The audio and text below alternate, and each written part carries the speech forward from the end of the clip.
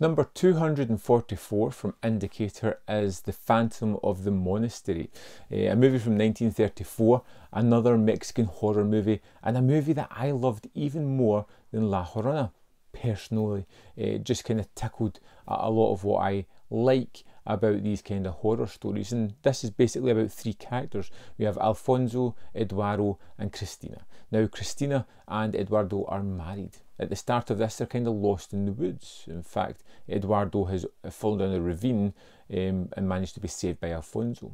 And as they wander about the woods, you get the idea that there might be something going on between Alfonso and Cristina. Eduardo seems completely uh, oblivious to it, and they are looking for somewhere to get sanctuary when all of a sudden they stumble across a monk who decides to take them back to the old monastery. There is some deliberation because, well, according to Cristina, uh, uh this was a run-down place where nobody has been for ages. But the monk assures them that there uh, is a, a group of people living there just now and they're going to take them back and give them sanctuary for the night. And once they get back to this monastery, as you can imagine, all kinds of spooky going ons happen within this place. We get to meet uh, the group of monks here who all seem just a little bit odd and a little bit strange as they deal with our friends that have stumbled across this place. Now, the whole idea of the story here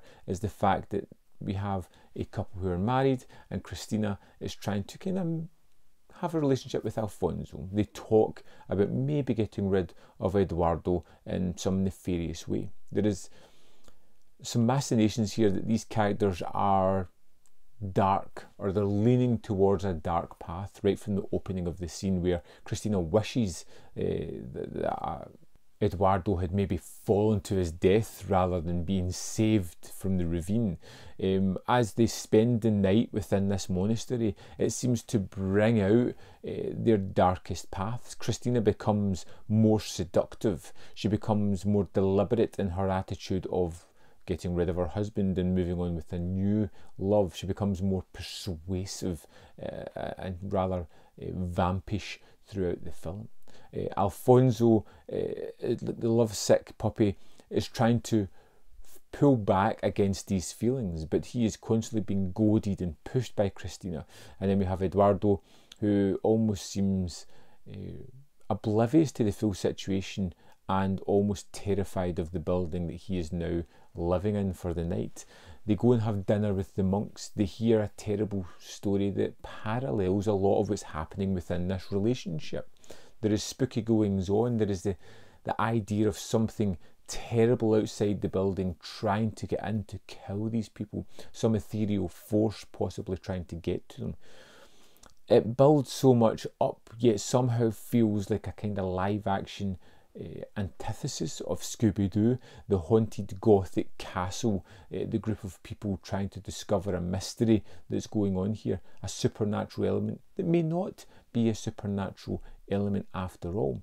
There is some wonderful transitions, there's some wonderful roving camera work here as well. The way the camera moves is surprisingly adept at really adding mystery and atmosphere to this movie. And almost from the opening scene, we're set in darkness. We are set within the nighttime, the woods where it's scary, within the confines of this monastery that has long, shadowy uh, hallways, that has figures in robes that seem to be silent and refusing to talk, that have their own idea of what's going on. There are strange occurrences throughout the night that are just unexplainable.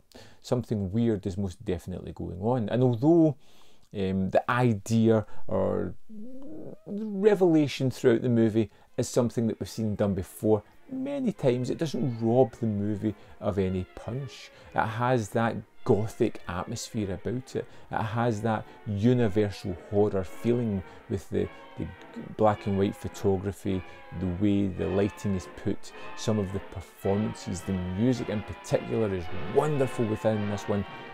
And it should be mentioned that this transfer is absolutely phenomenal. Uh, way better than La Llorona, and this was thought to be a lost film at one point, and I'm so glad they discovered it. The Phantom of the Monastery was a wonderful discovery, an absolute amazing movie.